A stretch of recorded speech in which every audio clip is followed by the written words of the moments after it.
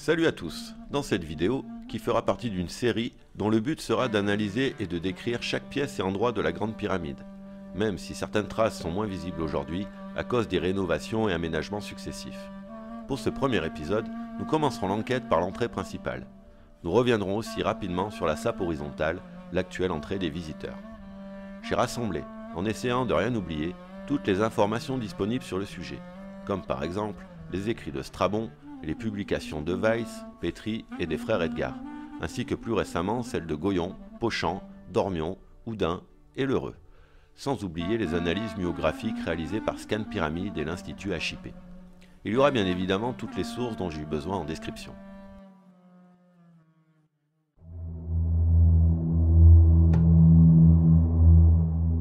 L'entrée originelle de la pyramide se situe sur la face nord à 17 mètres de la base ou 15e assise. Elle est désaxée de 7 mètres vers l'est.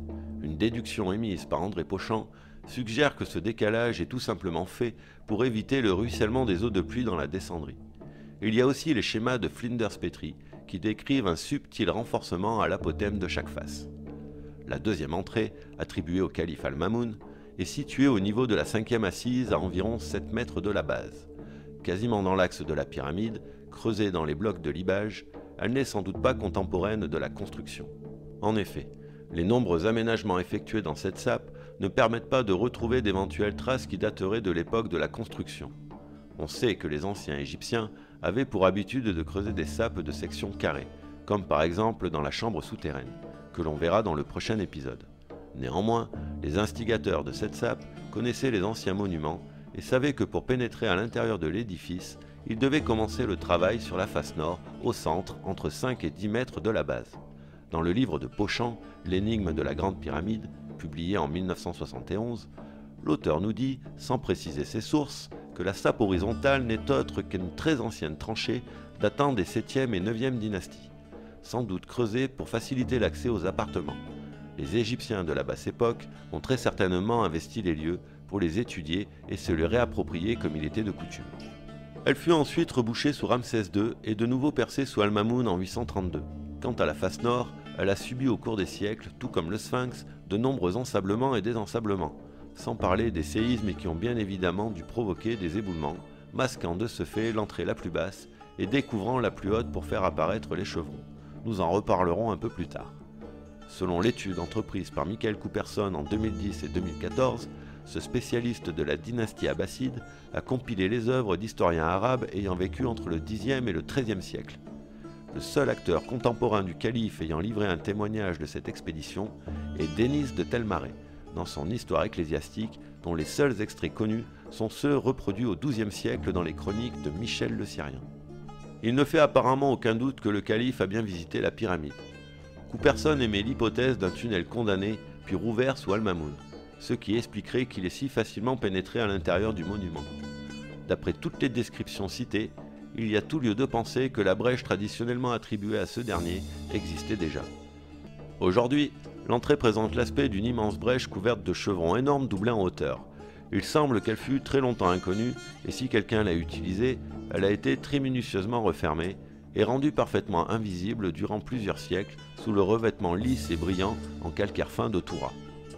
25 ans avant Jésus, le géographe grec Strabon, qui visita l'Égypte, mentionne dans son œuvre Géographie livre 17, que sur l'une des faces de la grande pyramide se trouve une pierre qui peut être enlevée, et quand elle est soulevée, on trouve un passage en pente ou syringe qui descend jusqu'aux fondations. Or, Flinders Petrie, l'éminent égyptologue, nous parle en 1883 de traces d'une pierre pivotante ou bloc tournant. Il parle aussi d'une porte en bois derrière l'entrée d'une autre très ancienne pyramide, la rhomboïdale de Dachour. Ces traces, gonds horizontaux et encastrements dans le plafond sont encore visibles à l'entrée. Le colonel Howard pensait avec raison que c'était le même dispositif qui avait existé sur la face nord de la Grande Pyramide. Depuis longtemps disparu, il n'en subsiste à guiser aucune trace, puisque de nombreuses pierres de l'entrée ont été enlevées, probablement au milieu du XIVe siècle, quand le sultan Nasir ad-Din encouragea la population à aller prendre des pierres sur la pyramide pour reconstruire mosquée et habitation qui fut détruite par un séisme quelques années auparavant. Ce faisant, il provoquait du même coup la disparition de toutes les inscriptions indéchiffrables qui se trouvaient sur le revêtement de la pyramide, comme décrit par l'historien arabe Abdalatif en 1179. Bien qu'il soit souvent rapporté que la grande pyramide de Gizeh est dépourvue de toute inscription hiéroglyphique, à l'exception de certains graffitis peints en rouge situés sur des blocs dans les chambres de décharge, il semblerait que cette déclaration soit quelque peu inexacte. En effet, sous les doubles chevrons, on voit un triangle évidé avec une sculpture particulière. Cette sculpture, creusée dans le linteau, n'est rien de moins que la représentation d'un hiéroglyphe. Ce dernier est Aket, prononcé Achet, et comme tout hiéroglyphe, il a plusieurs sens. Il représente le disque solaire sur un vallon composé de deux tertres. Le sens le plus répandu aujourd'hui est celui d'horizon. Mais ce n'est pas tout.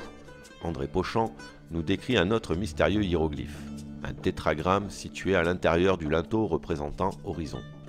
Il y a quatre signes linéaires de 6 cm de hauteur. La lecture se fait de gauche à droite. La première traduction des signes est la suivante souhaite être en compagnie de l'ordre mystique. Néanmoins, ces symboles ressemblent à des lettres indus. La deuxième traduction possible signifierait Celui qui a rué la terre est au centre. Certains pensent à une écriture mystique, voire biblique, ou bien encore, ces signes pourraient décrire le déluge ou un changement de pôle, d'où la théorie de l'équateur penché.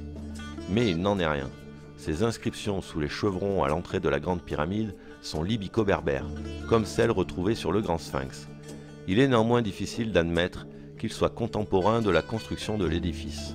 On peut toutefois féliciter l'audacieux qui osa risquer sa vie pour graver sous les chevrons ce mystérieux tétragramme. D'après Georges Goyon, les graffitis laissés par les voyageurs sur les blocs aux alentours sont tous postérieurs au XIIIe siècle de notre ère. En 1842, pendant son séjour en Égypte, Karl Richard Lepsus a jugé approprié d'honorer l'anniversaire du roi de Prusse, Frédéric Guillaume IV, en ajoutant un ensemble unique de graffitis hiéroglyphiques à l'un des chevrons sur le bord supérieur ouest au-dessus de l'entrée originelle de la Grande Pyramide. Les chevrons de l'entrée sont les premiers connus dans l'histoire de l'architecture. Ce sont des monolithes de calcaire pesant chacun une dizaine de tonnes, qui, selon toute apparence, ne jouent ici qu'un rôle de décharge. Trois dalles successives dressées presque à la verticale forment une série de linteaux surplombant l'entrée. Ils ne mesurent pas moins de 3,70 m de large 2,70 m de haut et 90 cm d'épaisseur, ce qui en fait des monolithes de 20 à 25 tonnes hissés au niveau de la 15e assise. En 1986, Gilles Dormion et Jean-Patrice Guadin posent sur la Grande Pyramide un regard d'architecte moderne. L'entrée de la pyramide les interpelle tout particulièrement. Cette débauche de protection leur semble démesurée, car pour couvrir un couloir de même largeur, les architectes des pyramides de Képhren et de Mykérinos ont eu recours à un simple linteau. Ils observent par ailleurs que les lits d'attente sur lesquels s'appuient les chevrons du niveau inférieur se prolongent sur une distance qui leur permettrait d'accueillir 7 paires de chevrons, et qu'un autre lit d'attente, encore visible à l'est, permet d'accueillir 4 paires de chevrons au niveau inférieur. En outre, deux bouts de chevrons brisés reposent encore sur ce lit d'attente, ce qui démontre qu'à l'origine, l'entrée était couverte par une double couverture à chevrons sur une distance de 4,60 m et sur une largeur de 3,15 m. Il suggère par ailleurs qu'il y aurait eu deux entrées indépendantes comme dans de nombreuses autres pyramides. La première entrée permettrait l'accès à la chambre souterraine par l'intermédiaire du couloir descendant actuel. La seconde entrée permettrait l'accès à la distribution supérieure par l'intermédiaire d'un couloir coudé. Suite à l'effondrement d'une hypothétique antichambre, cette seconde entrée aurait été inutilisable, rendant le réseau supérieur inaccessible. Le couloir ascendant aurait alors été raccordé au couloir descendant, en creusant directement à travers la maçonnerie environnante. Un autre architecte s'est lui aussi penché sur la question. En 2005, Jean-Pierre Houdin et Bob Brier démontrent plusieurs théories. Ils sont soutenus par les ingénieurs de la société Dassault Systèmes qui réalisent une visualisation 3D numérique de l'ensemble de leur plan. Houdin a émis l'hypothèse d'un chemin noble, un peu comme Dormion, mais aussi tout un système de chambres. Nous reviendrons sur ces deux théories dans un prochain épisode. Le 15 octobre 2016, une découverte spectaculaire a été révélée dans la revue Nature. Scan Pyramide, l'Institut HIP et la Faculté des ingénieurs du Caire ont sondé de manière non destructive les grands monuments funéraires de la 4 dynastie. L'équipe recourt alors à la myographie. Les muons sont des particules cosmiques qui tombent en permanence sur Terre. Capables de franchir des roches de grande épaisseur, ils permettent, à la manière des rayons X naturels, de radiographier les monuments en profondeur. Parallèlement, la zone a été modélisée en 3D avec l'aide de la fondation Dassault et de la société émissive, avec une grande précision afin d'évaluer notamment l'impact des roches manquantes sur les flux de muons. Après 67 jours de pause, les films ont été développés à l'université de Nagoya, puis analysés. Les trois plaques montrent un excès de muons dans la même direction. Après comparaison avec les images obtenues par le simulateur, le résultat est sans appel. Dans la zone des chevrons apparaît un vide important. On distingue même une forme de couloir. La position exacte du circuit, sa taille et sa forme doivent encore être affinées. Les capteurs ont mesuré dans cette zone un excès statistiquement significatif de muons, de 6,3 sigma. Une valeur qui en physique des hautes énergies permet de valider une découverte.